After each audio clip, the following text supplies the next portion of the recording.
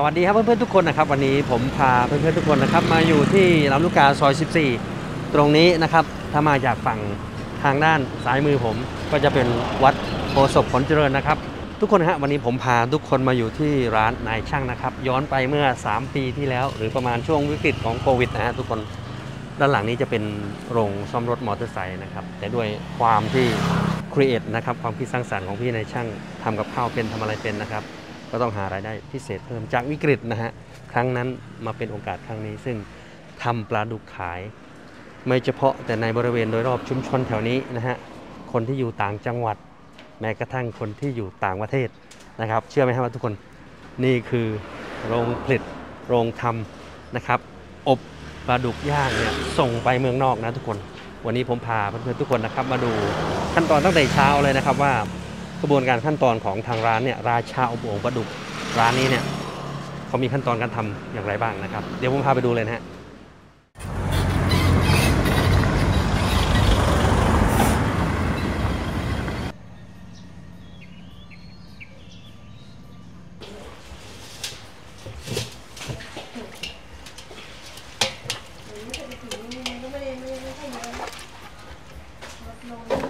ย่างเข้าไป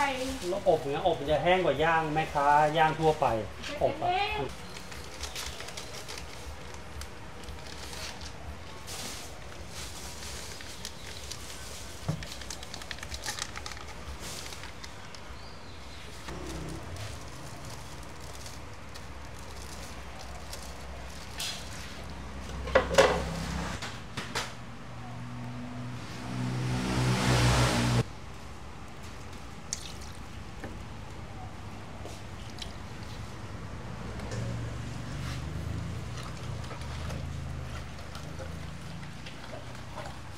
แห้งที่แบบเขาวิ่งของขายของไทยหยุดรับของไทยไปหยุดแล้วเขาก็จะมาติดต่อเราให้ไปส่งชิปปิ้งเขาเกาหลีมากก็เอมาอก็ใช่มีแล้วก็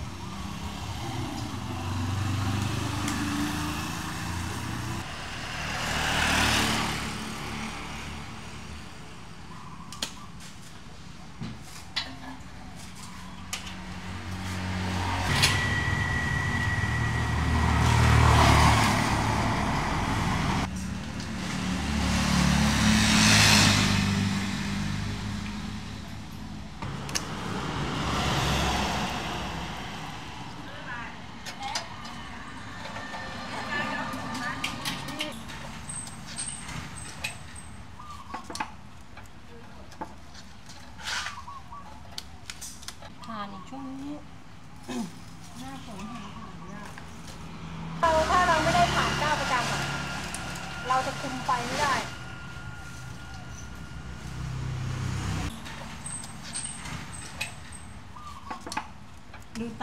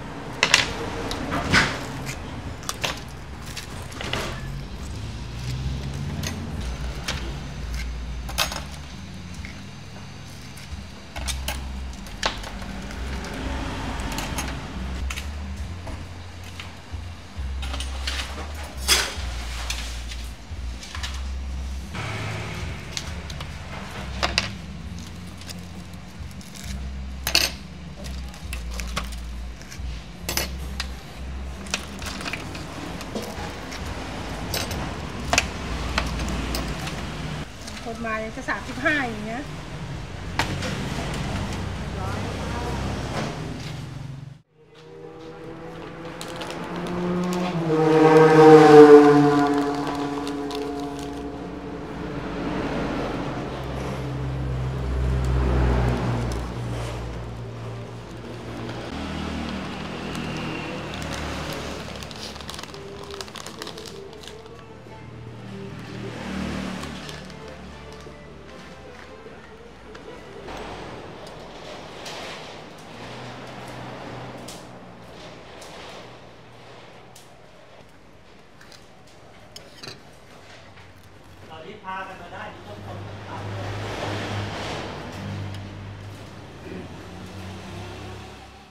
เพื่อนๆทุกคนครับเพื่อนๆก็ได้เห็นขั้นตอนการทำตั้งแต่ขั้นตอนแรกจนถึงขั้นตอนอบองจนเสร็จเป็นปลาดุกที่น่ากินนะครับ จิ้มกับน้ำจิ้มนี่อร่อยเลยทีเดียวนะครับสำหรับบริเวณแถวนี้จันทร์ถึงศุกร์นะทุกคนจะรับทำเพราะหิ้วแล้วก็ออเดอร์ที่เป็นต่างประเทศนะครับ ส่วนสำหรับวันเสาร์และวันอาทิตย์นี้จะเป็นออเดอร์หน้าร้านนะครับ ฉะนั้นถ้าเกิดเพื่อนๆอยากจะมาชิมมาลิมลองนะครับมาได้วันเสาร์และวันอาทิตย์นะครับ ชื่อว่าร้านครัวนายช่าง ลำลูกกาซอย 14 จะเป็นข้างวัดโพศพผลเจริญ หรือเพื่อนๆจะสะดวกติดต่อได้ที่เบอร์โทร 089 182 7124 และนี่คือทั้งหมดของครัวในช่างราชาอบโอ่งปลาดุกที่เป็นเจ้าดังส่งออกนอกต่างประเทศ สุดยอดจริงๆครับสำหรับร้านนี้ เดี๋ยวไว้เจอกันคลิปใหม่นะสำหรับวันนี้ สวัสดีครับ